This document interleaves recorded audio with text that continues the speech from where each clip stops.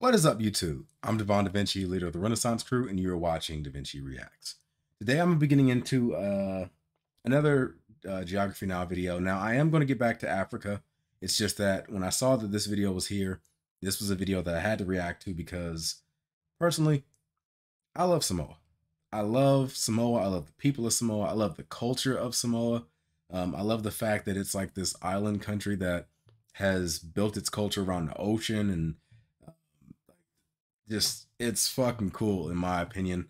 Um, I love the fact that they have like the like these awesome uh like war dances and they have let's be real they have some of the most luxurious hair of anybody on the entire damn planet and they have some awesome tattoos they have like awesome food and like it's just it's just amazing so i decided I'm going to go ahead and take a minute to go and jump into Samoa because honestly, I probably wouldn't have a chance to react to this until I get to the Americas, in which case they're not on the U's. They're nowhere close to the U's, so they're not going to be on the United States anytime soon.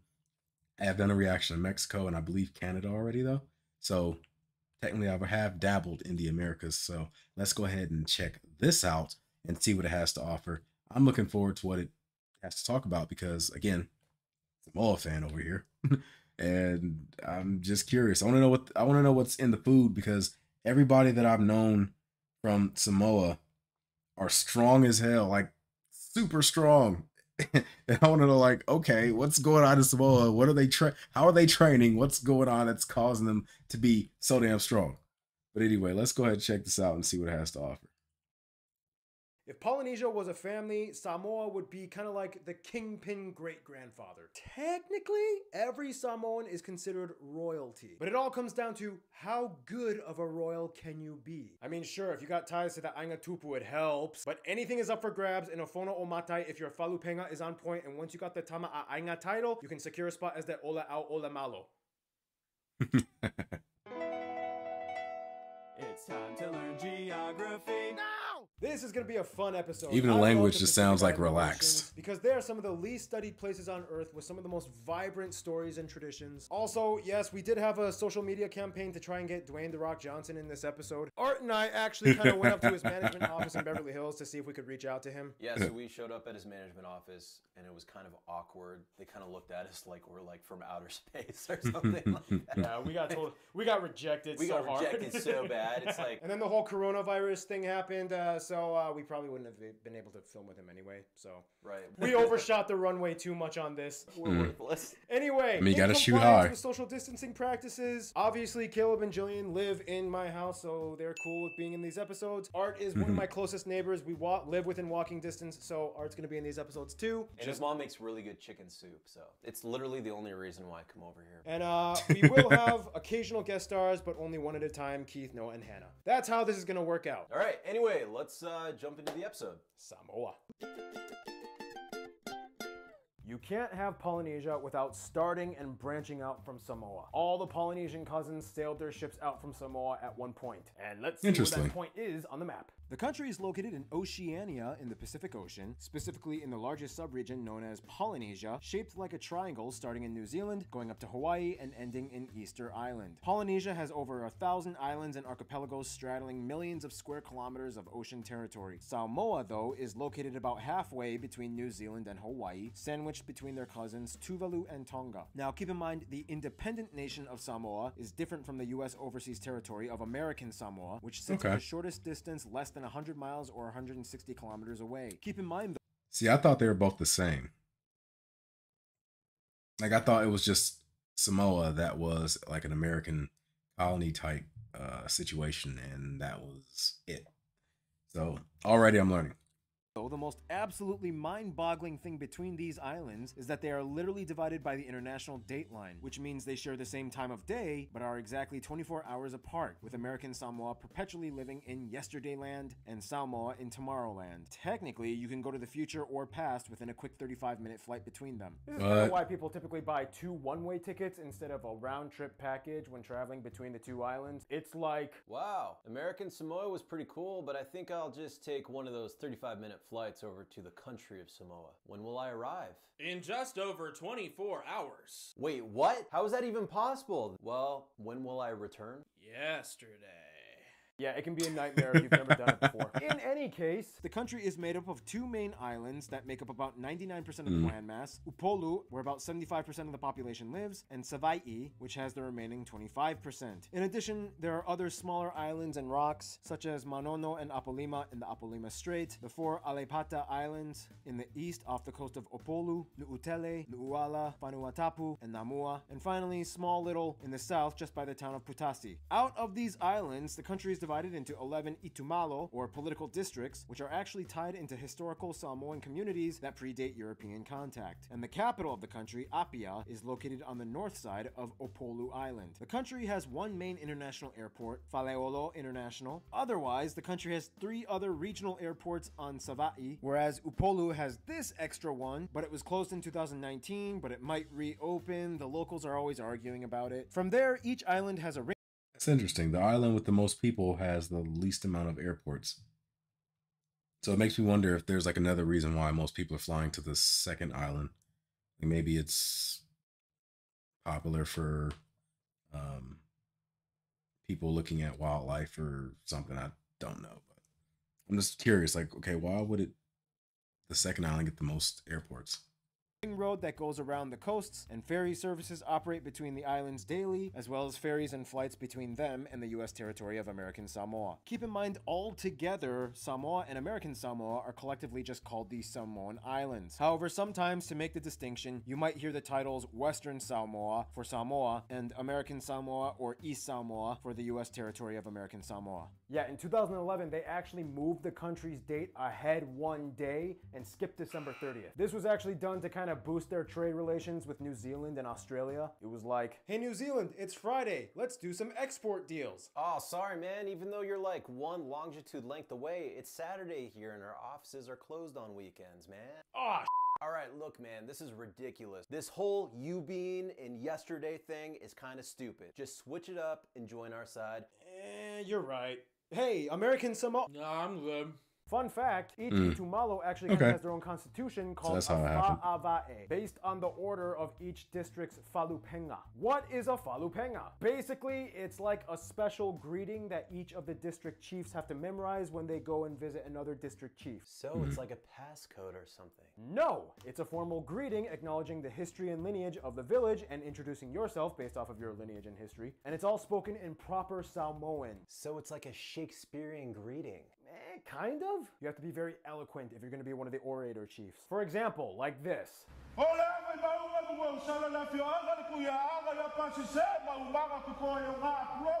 Anyway, if you decide to visit some top notable spots that you guys, the Samoan yeah, geography suggested I mentioned in this episode that. include the market or Maketi Fou, the Samoan Cultural Village, the Robert Louis Stevenson Museum, the EFKS Museum of Fine Arts, the Falealupo Ruins, Moso's Footprint, the Saleaula Lava Field Ruins, the largest fale at the University of Samoa, the ancient star mound of Manono Island, the House of Rock, the Vanya Taule'alo Gallery, the Government House. There are many churches and places of worship like these, and there are so many natural spots and so many waterfalls. The most famous waterfall probably being Papapapaitai Falls. Mm. There's so many caves as well, like the Dwarfs Caves and the Piula Cave pools. The most famous notable spot and landmark, though, would probably be the Pulemelei Pyramid Mound. Also, keep in mind they do have a lot of amazing beaches, but almost none of them are public because they are owned by families or villages, so you'll have to pay a little fee to get on the beach. But anyway, speaking of beaches and natural landscape.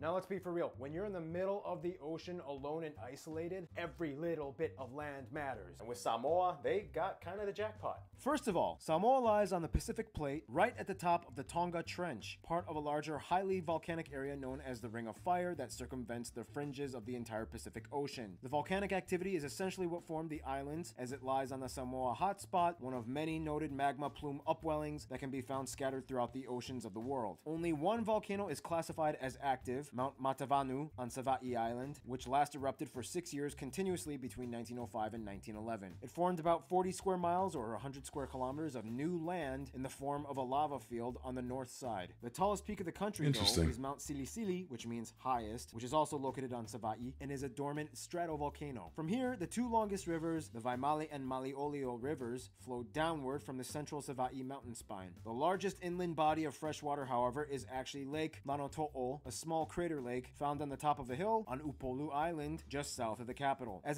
okay, so in the event that there's a World War III, as I said, one of the countries that I'll end up going to is likely Sweden. I'm gonna put that on my list because Sweden never gets messed with during world wars, apparently. So that will be one area of destination I will have. But another area I'm going to add to my list is Samoa because it's out of the way. So chances are most places aren't going to really mess with it. And has volcano that's constantly creating new land. So eventually the island is just going to get bigger and bigger and bigger.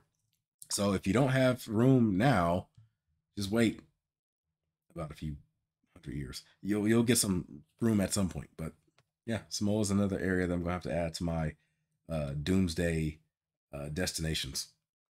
As an equatorial nation, they fall within the monsoon climate zone, where temperatures are consistently warm almost year-round, and the rainy season lasts between November and April. Occasionally, they might find themselves in the past of tropical storms or cyclones as well. Another cool thing is that Samoa was kind of volcanically formed, a little different from all the other Polynesian islands. The distinct lava flow on the sides of Savaii Island were carved by strong waves, creating a complex underground cave system that eventually tunneled upwards to the surface, which is where you get the famous Alofaga or Taga blowholes. These water jets are created by pressure that flows into the tunnels from the ocean. Sometimes people like putting coconuts on these water jets and then blasting them upwards. Now, as a tropical Polynesian nation, of course, yes, Samoa is very lush and green. About mm-hmm. a fifth of the land is arable, and about two thirds of the country are either employed or involved in agriculture. Agricultural products and fishing in themselves make up about 90% of exports, whereas the service sector employs about half of the workforce, mostly in tourism and hospitality, which make up about a quarter of their GDP. Nearly a quarter million people travel to Samoa and visit every single year, and the number has actually been growing quite a bit in the past few years as Polynesian travel publicity has skyrocketed, you know, with the help of notable Polynesian-based movies and films and stars highlighting their heritage. I mean, Hobbs and Shaw, dang, Mr. Rock, I will never forget that Uso battle scene or the helicopter car chain thing. That's Samoa! In addition, Samoa is known for having a wide array of unique animal species. And with that, it's time for our animal correspondent, Gary Harlow, to step in.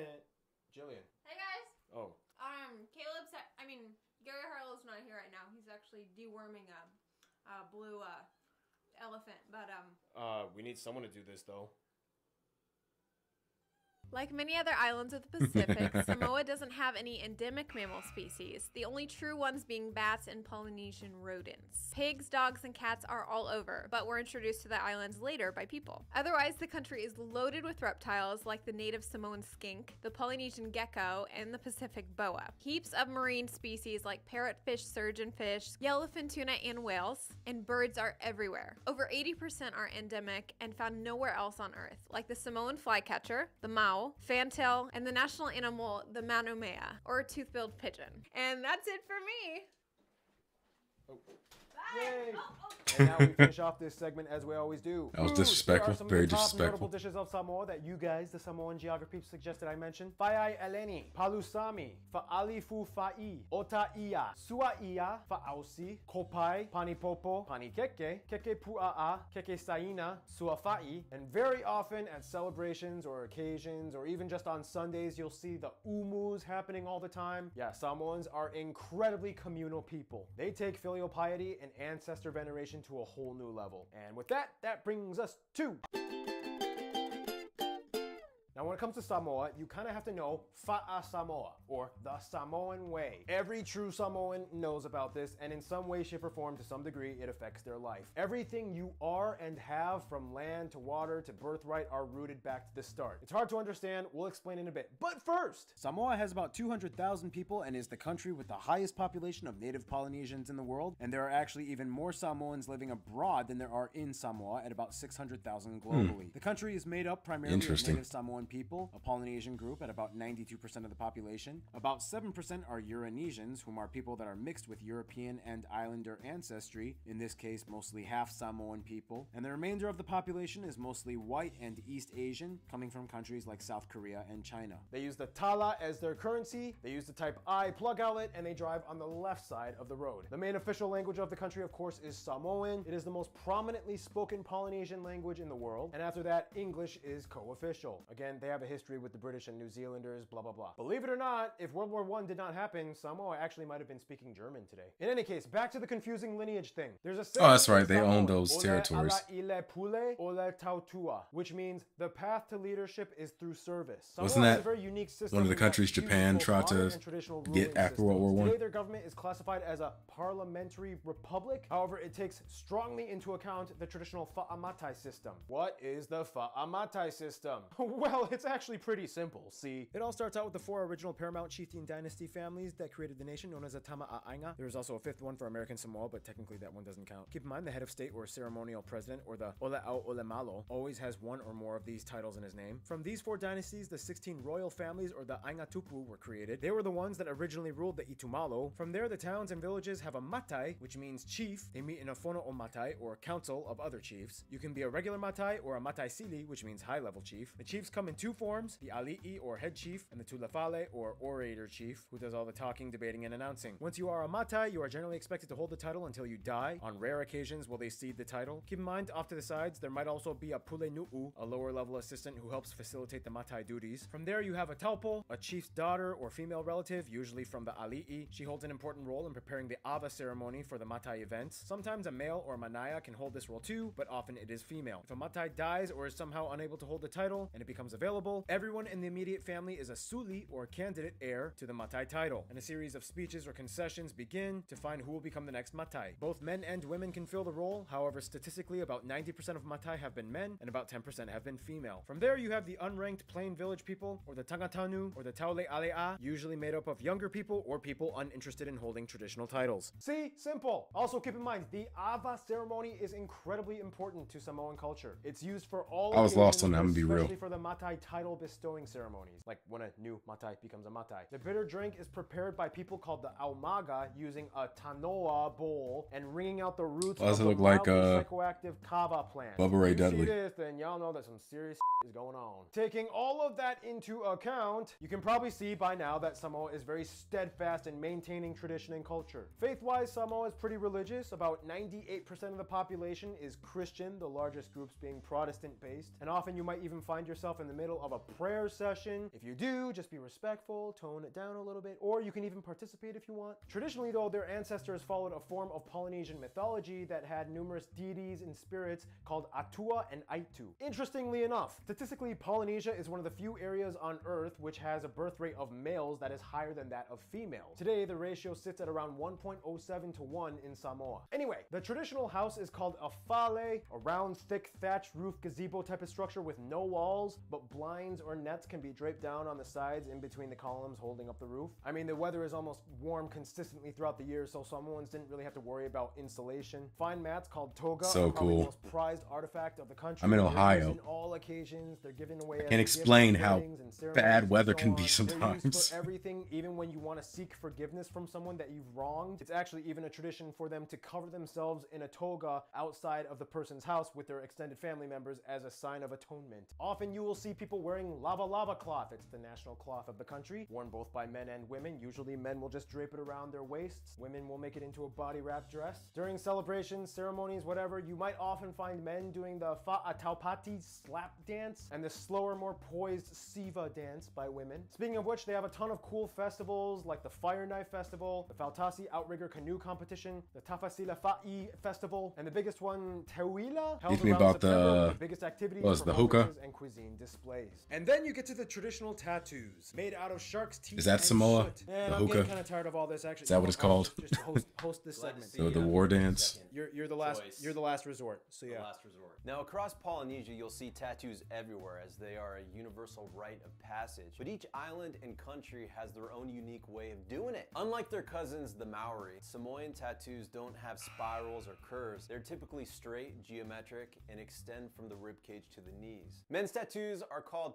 pea, and women's are called malu. And for women, the tattoos only extend from the thighs to the knees. It's a well-known fact that Samoans are famous for their athletic prowess. Historically, the Polynesian men were trained to be big and strong for warfare and competition. I mean, they even had some really cool weaponry. They had an impressive Yeah. assortment of clubs, axes, daggers, maces, and spears. Did I just say daggers? You said daggers. Did I just say daggers? daggers. Anthropologists speculate that in addition to the possible genetic predisposition to gain more muscle, the abundance of available sustenance year-round on the island or seas around them allowed them to eat more and gain more mass. On the downside, Samoa and other Pacific islands have some of the highest rates of obesity as well as other. Don't worry, as an American, I feel it too. Samoan and Pacific Islander men are top contenders for recruiting seasons in rugby and American football leagues. In the NFL, a Samoan male is often somewhere around 40 to 60 times more likely to be recruited against a non-Samoan counterparts, especially for a lineman or linebacker position. Mm-hmm.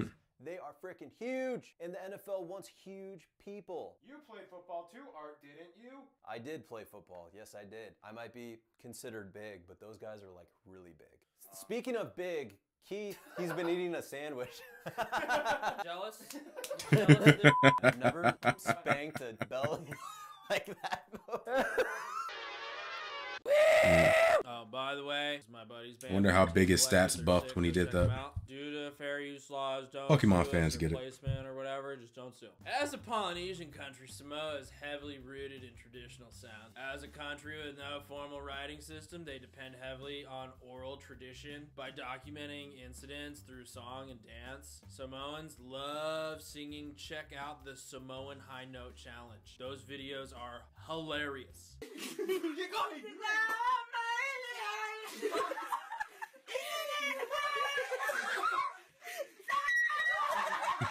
Much of the music can be performed with traditional instruments like these. And maybe some of these. Otherwise, today, modern genres like Samoan style R&B, poly reggae, and like jazz have made waves of popularity amongst the younger generation. Well, since I don't have a bass today, I guess I can uke my way on out of here. Thank you, Keith. And now it's time for the very condensed history segment of this episode. In the quickest way I can put it, Austronesians sail in and settle Samoa. The foreign Tama Aiga chieftain dynasties begin. The legendary warrior queen Nafanua starts the Matai system. The Aingatupu royal family is established. More of Polynesia is settled. Samoa is taken over and breaks free from the Tui Tonga Empire. First European contact from British and Dutch in the 1700s. Missionaries bringing Christianity. Americans, British, and Germans all claim parts of Samoa. First Samoan Civil War fought between rival Samoan factions. Second Samoan Civil War. Germany takes over for 14 years. East Islands become a U.S. territory. Mau movement for independence. World War One. The UK creeps in, kicks out the Germans. Samoa becomes a territory of New Zealand. Spanish flu kills off a fifth of the population. 1962 independence. New Zealand's Helen Clark issues a formal apology for the incidents of the 20th century. Samoa's last king dies at age 95. Samoa switches time zones. Hobbs and Shaw save the world from evil. And here we are today. Some of the top notable people from Samoa that you guys suggested I mention in this episode include historical figures like Malietoa Laupepa, Malietoa Tanumafili the First, Lauaki Namulau Ulu Mamoe, Malietoa Tanumafili the Second, as well as Cardinal Pio Taofinu'u. Tons of professional athletes like these, lots of boxers like these, weightlifters, I him. rugby players, American football players, wrestlers, people in the Oh, wrestlers. arts and oh, entertainment Oh, wrestlers. Don't get me started on wrestlers. Robbie Magasiva, Jay Laga'aia, Beulah Koale, Sima Urale, Nick Afoa, Parris Goebel, Albert Wendt, Aggie Grey, of course, Dwayne The Rock Johnson, and of course, there are so many famous musicians and artists and bands like these. I'm just gonna put a bunch of them up on the screen. And finally, just some miscellaneous ones Latafale Auva'a, Amy Maslin Miller, Chief Sielu Avea, and the Circus of Samoa. Yeah, for such a small island nation, Samoans have really stuck themselves out as Samoan special. anyway, off to the last segment the friend zone. Now, ocean island nations have always kind of been an interesting place when it comes to diplomacy because everything is so spread apart that you kind of need anyone within the vast open void to lean on. That being said, Samoa does have quite a few contacts in their Rolodex. Although Fiji is classified as Melanesian, their close proximity to Samoa helps Do kids know what a bridge Rolodex is? Melanesia and Polynesia. Business, travel, and trade are not only huge. Seems like that them, died out with the countries cell kind of phone. Piggyback off of each other as well. Fijians even have their own And version computers. of the Ava ceremony, and they even created their own Haka chant at sporting events like the Maori of New Zealand. Tonga is kind of like the best rival. It's a hookah, haka. I mean, a long time ago, they did kind of take over Samoa in the Tui Tonga Empire, and there were numerous battles and wars between them. But that was like so long ago, and everybody's forgotten about it. The two are close now. The countries and islands that culturally identify closest to Samoa, though, would probably be their immediate siblings Tuvalu and the three association states of New Zealand, Tokelau, Cook Islands, and Niue. Specifically, Tuvalu and Tokelau have the closest languages to Samoan. Some even say it's just a dialect. They all have very similar customs and cultures, as well as family lineages, as their ancestors fled to nearby islands, intermarried, and kept in touch pretty well. New Zealand is their biggest business partner and specifically plays a huge role in Samoa's affairs. And in 1962, they signed a Treaty of Friendship after independence. New Zealand has the largest Samoan population outside of Samoa. They are the largest hub of travel to Samoa. They are in charge of their military protection, and Samoa can request channels of communication to international organizations through New Zealand. When it comes to the ones closest to them, though, Samoans will probably say the American territory of Samoa. Essentially, they are the same people. Sure, one speaks with a Kiwi accent, the other speaks with an American. One drives on the right side, the other on the left. One plays rugby, the other one plays American football. But otherwise, same people. American Samoa actually had the chance to join them back in 1966 when the UN threw out the option, but surprisingly, they voted to stay as a territory of the US and take on US benefits. Nonetheless, both of them follow the same Fa'a Samoa system of life. They both have the Matai and Fale culture, and overall, they get each other the best.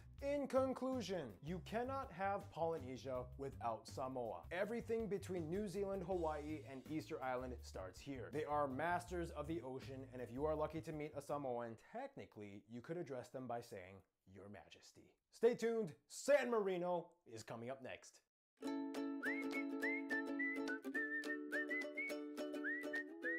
Yeah.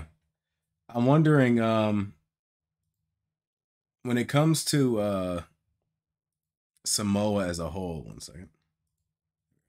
When it comes to Samoa as a whole, I'm wondering, like, or American Samoa, do they have any interest in becoming a U.S. state? Because as a territory, I imagine that, like, you do have benefits, but you don't really get a chance to participate too much when it comes to, uh, like, the political side of America to being able to vote and things like that. I was wondering if that's something that would interest them. Obviously, I don't. like I don't know why I'm asking it that way. It makes it sound like I have some type of authority in like that decision. I don't. but I would be curious to see what the people in Samoa like what their aspirations would be as far as like their relationship with the United States. Um like I said, I love Samoa. Um I love Samoan people. I love Polynesian people because a lot of them, regardless of where they're from, all of them have like this this ability to get strong as hell. All of them have absolutely luxurious hair. The guys and the girls just just flowing. Um like it it's they just come off as awesome to me. I love the the island culture and how everything is connected to the ocean and things. It it uh it's it's like I love the music. like everything about it's just relaxing. But um yeah. Uh, let me know what you all think. If there's anybody that's from Samoa or has any Samoan ancestry or Polynesian uh, ancestry or from a Polynesian country, go in the comment section and let me know what you uh, think about the the countries that you um, your family originates from let me know what your opinions about everything is. Let me know what uh you feel best represents Polynesian culture and something that may have not been mentioned in this video that you think deserves some attention. Uh, be sure to let me know about it because I am very interested in knowing what everybody has to say about it. It, it it's really it just comes off as really cool to me. But anyway, uh, that's pretty much all I can say. I'm Devon DaVinci. I look forward to seeing you guys on a future video. And until then, I'm going to give you the deuces and I am signing out. So, peace.